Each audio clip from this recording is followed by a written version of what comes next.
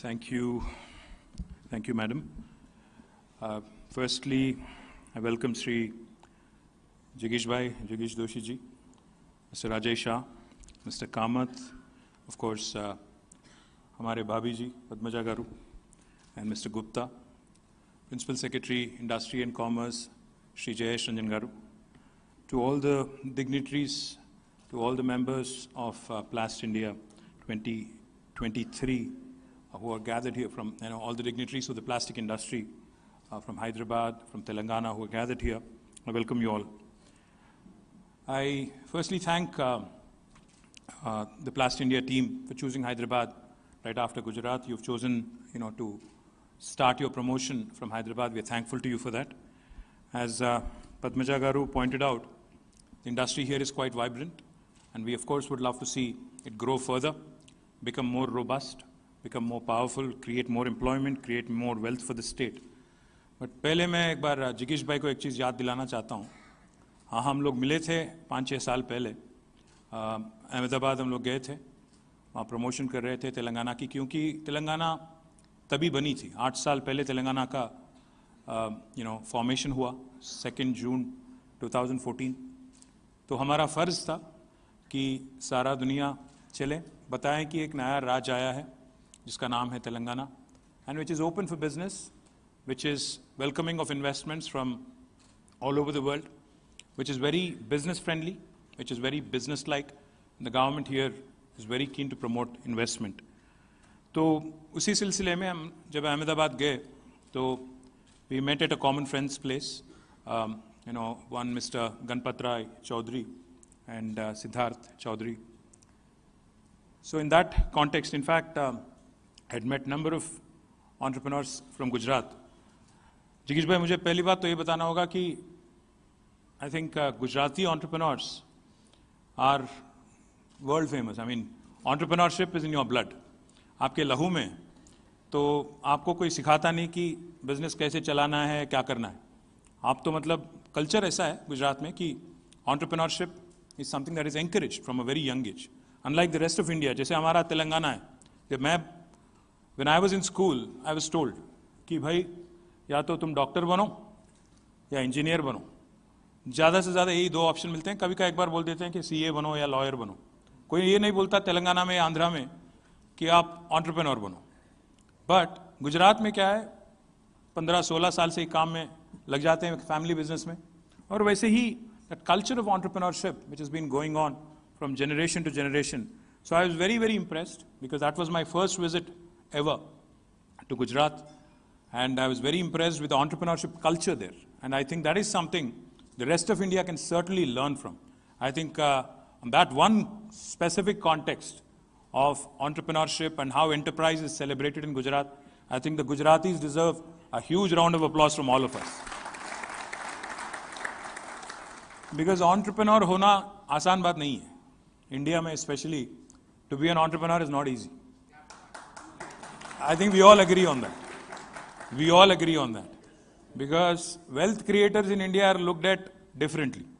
बाकी दुनिया में वेल्थ क्रिएशन को सेलिब्रेट करते हैं वेल्थ क्रिएटर को रिस्पेक्ट करते हैं वेल्थ क्रिएटर को पोस्टर बॉय मानते हैं इंडिया में थोड़ा नज़रिया अलग है कि किसी ने पैसा बनाया बिज़नेस चलाया तो उसको पहली बात तो शेक की नज़र से देखेंगे कि किस कैसे बनाया इसने कौन सी शॉर्टकट इसने पकड़ा कौन से मिनिस्टर के साथ इसका संबंध है My point is, I think Indian, in India, if we really have to grow as a country, because we may say a lot of things. Ajay ji बता रहे थे अपने प्रेजेंटेशन में मैं देख रहा था कि हम लोग सिक्स लार्जेस्ट इकोनॉमी है 3.1 ट्रिलियन इकोनॉमी हमारी है अजय जी आपको एक बात याद दिलाना चाहता हूँ सर 1987 में इंडिया और चाइना दोनों का जीडीपी एक ही था 470 बिलियन डॉलर आज 35 साल बाद वो कहाँ है हम कहाँ हैं? वो लोग बैठे हैं 16 ट्रिलियन डॉलर पे बस यूएस के एक कदम पीछे हैं। हम कहाँ हैं? हम ब्रिटेन और फ्रांस के बीच में फंसे हुए हैं। ये कोई फखर की बात नहीं है हमारे लिए। In fact we should all lament we should all think why India could not do what China has done we should all seriously contemplate, we should all seriously understand what the challenges are. And I think one of the fundamental challenges is the fact that entrepreneurship in India has not been promoted as much as it should have been in the last 35 years. We do not celebrate our entrepreneurs. We do not celebrate the culture of entrepreneurship. I think that has to change. That certainly has to be, you know, uh, you know, brought about. That cultural change, that cultural shift, has to be brought about. We travel all over and we meet investors all over. The one question that they keep asking बहुत बार ये पूछते हैं हमें specially Europe में US में जब जाते हैं और प्रॉस्पेक्टिव इन्वेस्टर से मिलते हैं, वो लोग पूछते हैं हमें कि अगर चाइना में कुछ हो सकता है इतना जल्दी तो आपके यहाँ क्यों नहीं होता है? तो मैं बस उनको एक ही बात बताता हूँ, आपको भी वही बात बता दूँ। मैं उनसे कहता हूँ कि भाई, ऐसा है, चाइना जो है एक देश है, बहुत होमोजिनस देश है मतलब एक similar kind of profile everywhere you go very very homogeneous as a country but India is a very diverse nation India में हर 200 किलोमीटर में या हर 150 किलोमीटर में बहुत सारा चीज़ बदल जाता है। We are a very diverse country we are more like Europe हमारे यहाँ 28 28 स्टेट्स हैं। 22 ऑफिशियल लैंग्वेजेस हैं। 300 से ज़्यादा अनऑफिशियल लैंग्वेज है। हर 150 किलोमीटर में इंडिया में आपका लैंग्वेज बदल जाता है डायलेक्ट बदल जाता है ईटिंग हैबिट बदल जाती है, आपका थिंकिंग थिंकिंग स्टाइल बदलता है कल्चर बदलता है। India is a very very diverse country that way in fact I keep giving the example Jayesh Ranjan ji और मैं दोनों भी एक ही गवर्नमेंट के लिए काम करते हैं। बट उन, वो जो भाषा बोलते हैं अपने घर में और मैं जो भाषा बोलता हूँ हमारे घर में, इन दोनों में इतना फ़र्क है। वो हिंदी बोलते हैं, मैं तेलुगु बोलता हूँ। इतना फ़र्क है जितना कि फ्रेंच और जर्मन में मैं यही समझाने की कोशिश करते रहता हूँ बाहर। और मैं यही बोलता हूँ बाहर, हमेशा जब भी कोई प्रोस्पेक्टिव इन्वेस्टर मिलता है, मैं उनसे यही कहता हूँ कि it all depends on the gateway you choose to enter India through क्योंकि India is not one entity there are twenty eight different Indias आप कौन सी एंट्री पॉइंट लेते हो, उस पर आपका एक्सपीरियंस इंडिया का डिपेंड करता है। मैं कोई और राज्य के बारे में गलत नहीं कहूँगा बट ये ज़रूर कहूँगा कि आप तेलंगाना से अगर एंटर करते हो तो बहुत पॉजिटिव आपके एक्सपीरियंस रहेंगे। जैसा अभी जिगीश भाई बता रहे थे, आपको मिनिस्टर अपना मोबाइल नंबर देगा। प्रिंसिपल सेक्रेटरी बोलेगा कि मैं आपको चार्टर फ़्लाइट भी भेजूँगा। हम लोग बात ही नहीं करते हैं, सर, आपको बताना पड़ेगा ये। चार्टर फ़्लाइट की जो आपने बात की, एक एग्ज़ाम्पल मैं देता हूँ आपको। कोविड के दरमियान मैंने एक न्यूज़ आइटम पढ़ा था।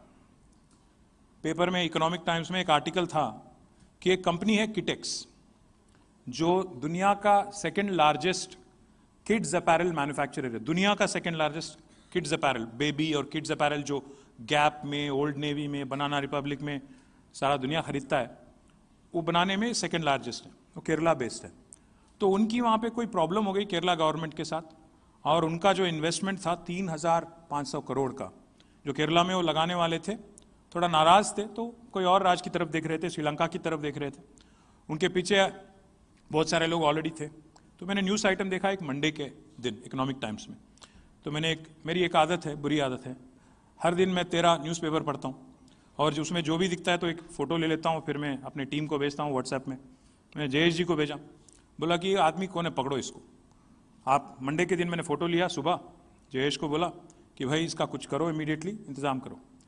तो जयेश ने इमीडिएटली उनका फ़ोन नंबर कहीं से पकड़ लिया, मुझे भेजा। तो शाम तक मंडे के शाम तक, मैंने उनको व्हाट्सएप किया, जो साबू जेकब करके उसके एमडी थे। उनको मैंने व्हाट्सएप किया कि मैं मिनिस्टर हूँ तेलंगाना का, मैं आपसे बात करना चाहता हूँ। उन्होंने उत्तर नहीं दिया कोई, जवाब नहीं दिया। मैं बोला, यार, कम से कम इतना इज़्ज़त तो दो, जवाब तो दो। कोई जवाब नहीं। तो मैं बोला, जयेश जी को यार पकड़ो, इनको जवाब भी नहीं दे रहे यार मुझे। तो फिर जयेश जी ने उनको कॉल लगाया तो वो बोलते हैं, मुझे लगा कोई प्रैंकस्टर है। मुझे लगा कोई ऐसे ही बोल रहा है कि मैं मिनिस्टर हूँ, क्योंकि आजकल तो बहुत सारा साइबर फ्रॉड चल रहा है। कोई भी ऐसे ही बोल रहा है मिनिस्टर हूँ। बोले, नहीं नहीं नहीं, हमारे मिनिस्टर है। So then what happened is next day Tuesday afternoon Monday के दिन हमने देखा न्यूज़पेपर में Tuesday afternoon around three o'clock me Jayesh and mister Jacob we were on a conference call together और कॉन्फ्रेंस कॉल में हम लोग बात कर रहे थे। Then I said please come to Hyderabad visit us एक बार मिल तो लो, बात करो।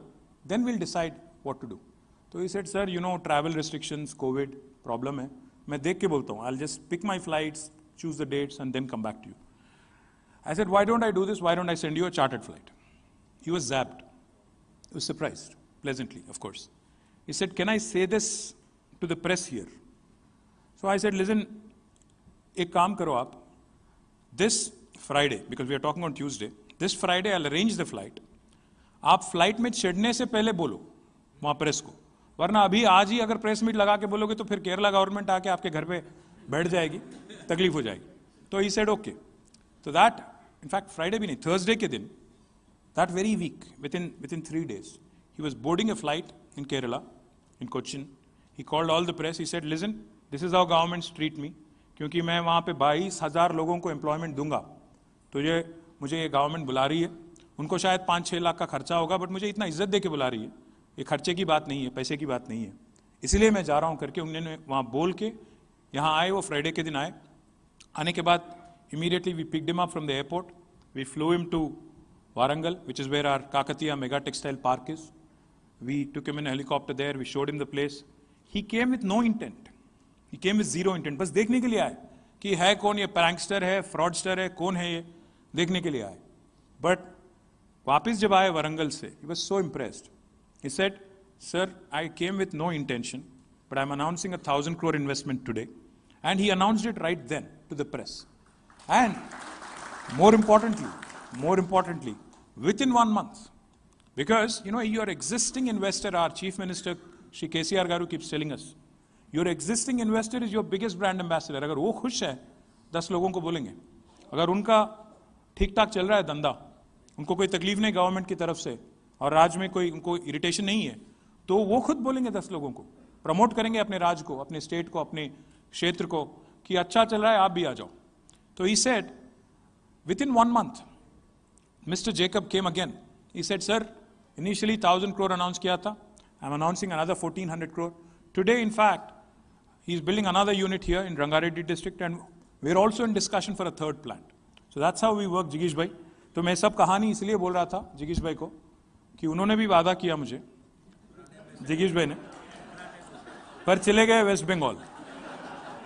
हमारी दीदी भी अच्छी है जगीश भाई दीदी भी अच्छी है, वहाँ पे भी आप करो, ईस्ट में भी चाहिए, आप वेस्ट में भी चाहिए बट हम लोग सेंट्रल इंडिया है। हम लोग ना साउथ इंडिया है, ना नॉर्थ इंडिया है। हम यही कहते हैं कि हैदराबाद ऐसी जगह है, जहाँ North India meets South India जहाँ आपको हर वो चीज़ मिलेगी जो एक नॉर्थ इंडियन को चाहिए हर वो चीज़ मिलेगी जो एक साउथ इंडियन को चाहिए। तो मैं आपसे रिक्वेस्ट करता हूँ कि आप यहाँ पे भी एक यूनिट लगाइए और प्लास्ट इंडिया से पहले ही मतलब फेबररी से पहले ही एक ऐलान कर दीजिए ताकि हमें वहाँ स्टेट पार्टनर बनने का और आप बाकी हमारे टीम को लाने का। और मैं देख रहा था नाम भी आपका विशाखा है, तेलुगु नाम है। तो आपको तो रहना ही है यहाँ पे, आप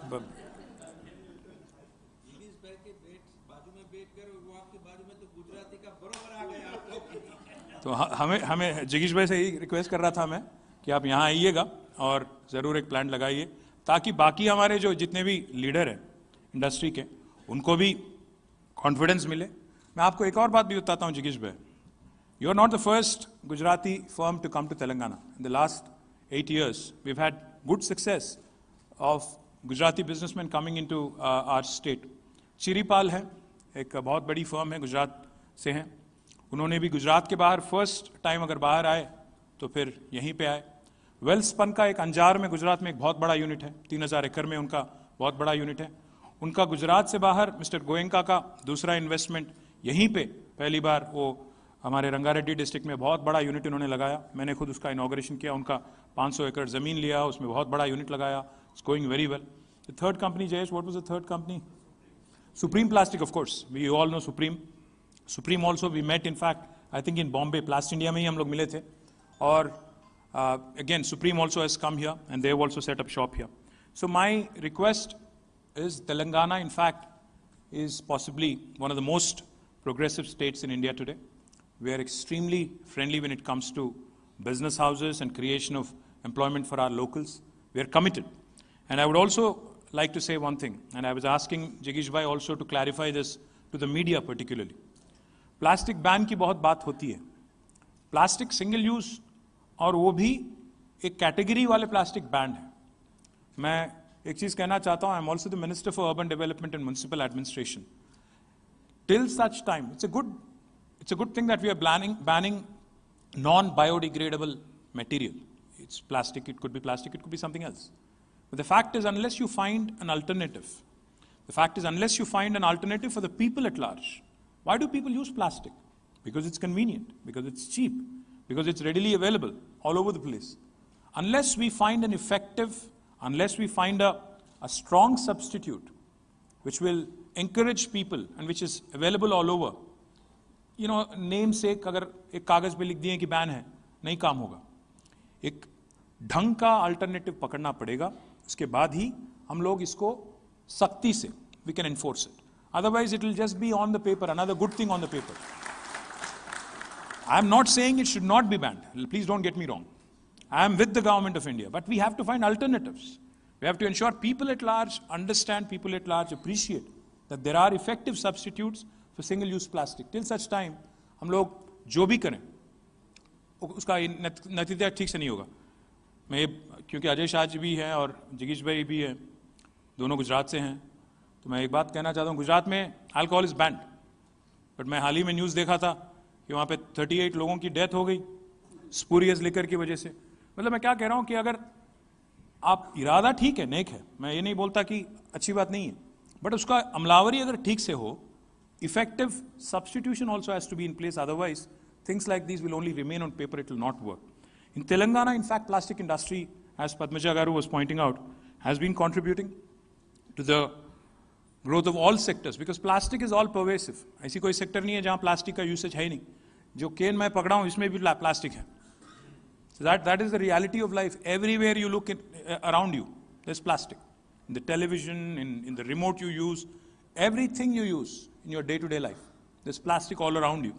Now, like I said, agriculture, infrastructure, health, food, potable drinking water, everywhere. But we also have had some good success in recycling plastic. In fact, one of the industries that has come up in Telangana, which I'm very proud of, which I inaugurated recently in Warangal, is called Ganesha Ecosphere. It's, a, I think, a Mumbai company. They actually take all the PET plastic uh, bottles and plastic waste and they actually create fiber out of it. और वो fibre से फिर fabric बनाते हैं these are the kind of